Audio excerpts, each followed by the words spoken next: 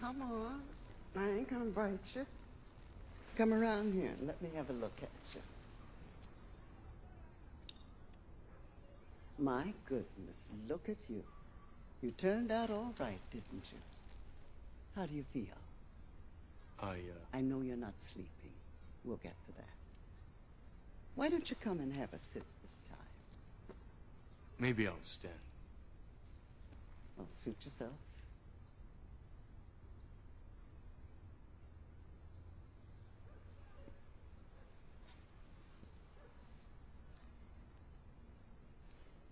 I felt like sitting. I know. So, let's get the obvious stuff out of the way. You're not human, are you? Well, it's tough to get any more obvious than that. If I had to guess, I'd say you're a program from the machine world. So is he. So far, so good. But if that's true, that could mean you are part of this system. Another kind of control. Keep going. I suppose the most obvious question is, how can I trust you? Bingo. It is a pickle, no doubt about it. Bad news is there's no way if you can really know whether I'm here to help you or not. So it's really up to you. Just have to make up your own damn mind to either accept what I'm going to tell you or reject it. Candy?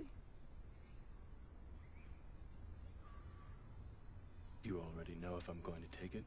Wouldn't be much of an oracle if I didn't. But if you already know, how can I make a choice? Because you didn't come here to make the choice. You've already made it.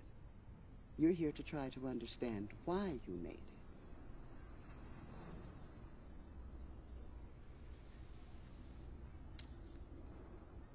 I thought you'd have figured that out by now. Why are you here? Same reason. I love candy. But why help us? We're all here to do what we're all here to do. I'm interested in one thing, Neo, the future. And believe me, I know. The only way to get there is together. Are there other programs like you? Oh, well, not like me, but... Look, see those birds? At some point, a program was written to govern them. A program was written to watch over the trees and the winds, sunrise and sunset. There are programs running all over the place. The ones doing their job, doing what they were meant to do, are invisible. You never even know they were here. But the other ones, well, you hear about them all the time. I've never heard of them. Of course you have. Every time you've heard someone say they saw a ghost or an angel. Every story you've ever heard about vampires, werewolves, or aliens is the system assimilating some program that's doing something they're not supposed to be doing. Programs hacking programs. Why?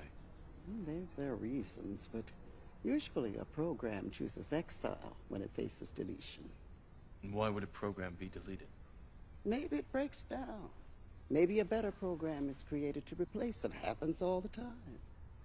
And when it does, a program can either choose to hide here or return to the source.